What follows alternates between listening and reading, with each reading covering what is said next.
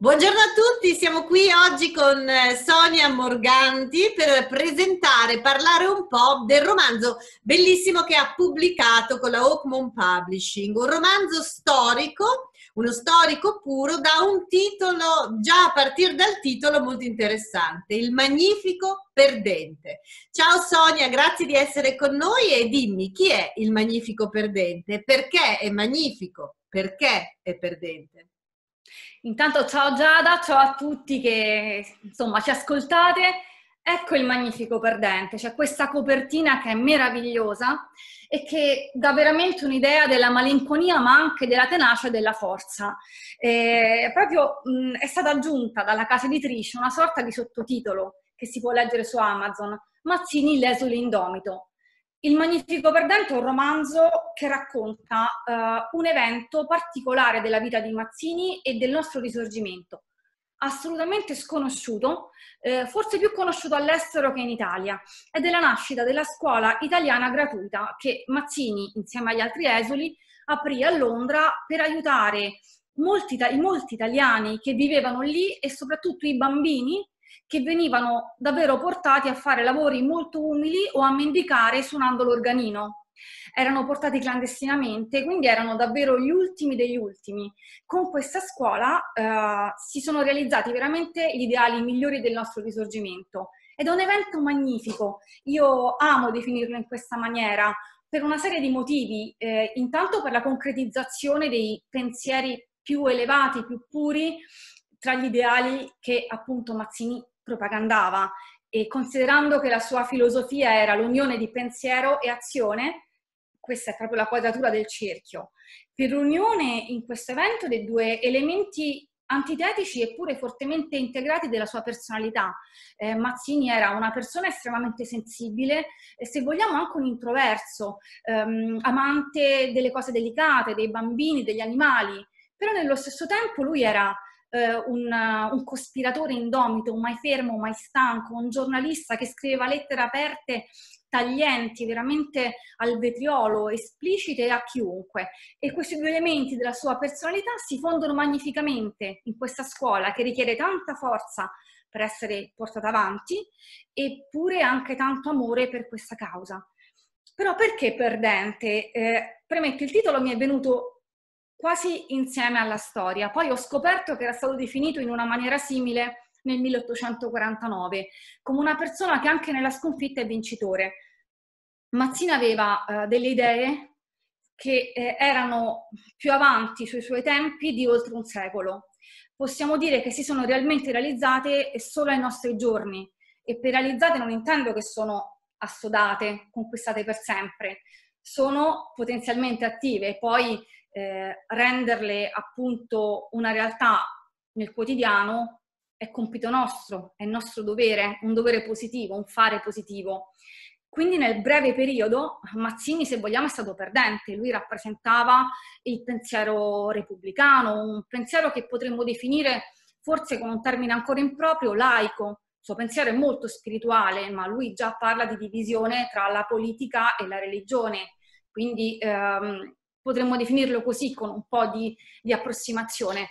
È chiaro che invece la fazione che ha vinto nell'immediato è stata quella monarchica, fortemente cattolica, legata allo Stato della Chiesa. Per Questo cui... è un libro che è molto interessante, ma non è un libro molto politico, perché racconta una parte, non racconta la giovane Italia, no? non racconta quello che di solito si studia a scuola, che si legge di solito eh, su Mazzini, racconta Mazzini uomo, Forse anche per questo che è così coinvolgente, perché nel Mazzini uomo c'è anche tutto quello che stai raccontando, cioè nel Mazzini uomo ci sono anche le idee di Mazzini, no? Eh, però appunto hai scelto questo approccio umano che funziona molto bene. Com'era lui come uomo? Guarda, eh, io sono a me è incantata, sinceramente posso dire che per certe cose mi ha fatto del bene, come se avessi e perdonami il paragone, ma c'è un motivo, come se avessi incontrato un nonno che mi abbia confortata dello sconforto che a volte provo guardandomi intorno. Ehm, per me eh, ristudiare Mazzini eh, come uomo, quindi partendo dai suoi scritti e dalle sue lettere, perché eh, il bello di scrivere di un'epoca così recente è che sei sommerso da materiale originale e spesso anche autografo, che è un'emozione incredibile. Ecco, um, io non, non, ricordavo minimamente che eh, mio nonno materno, classe 1902, eh, si definiva mazziniano. Io lo sapevo così per memoria familiare, perché mio nonno è morto che avevo due anni e mezzo, quindi non ci siamo conosciuti. Però eh, leggendo i testi di Mazzini e eh, quindi entrando dentro il suo pensiero, mi, mi dicevo sempre, ma perché mi suonano così familiari? Perché mi fanno stare così bene? Poi ho fatto 2 più 2 e ho capito che effettivamente una delle sue idee, che era appunto il potere dell'educazione, eh, era effettivamente passata perché tramite il padre di mia madre io ho ricevuto il suo pensiero con i fatti. Ora, Mazzini Uomo era uh, una persona dall'umanità, dall'interiorità ricchissima.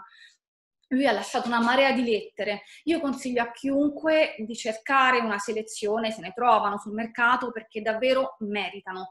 Alcune sono eh, davvero toccanti, dolorose, profonde, altre sono appassionate, altre sono scoraggiate perché appunto era profondamente umano e anche lui ha avuto i suoi momenti di, di profonda depressione, di profondo scoramento, anzi ha avuto un periodo che si può definire dopo fatti accaduti nel, nella prima fase della sua vita, quindi dopo il crollo della giovine Italia, quasi di depressione clinica, ne è uscito tramite un, tutto un suo processo, racconta anche i sogni che faceva in quel periodo, ha un legame stupendo con la madre, ha un passato eh, ricco di affetti, ricco di amicizia, è una persona davvero di forte sentire, che tuttavia è sempre stato capace di ehm, amare l'Italia davvero come pochi. Ecco, quando dico che l'Italia ha tanti padri e tante madri, ma tra i suoi padri, forse quello che più l'ha amata e quello che meno le somiglia,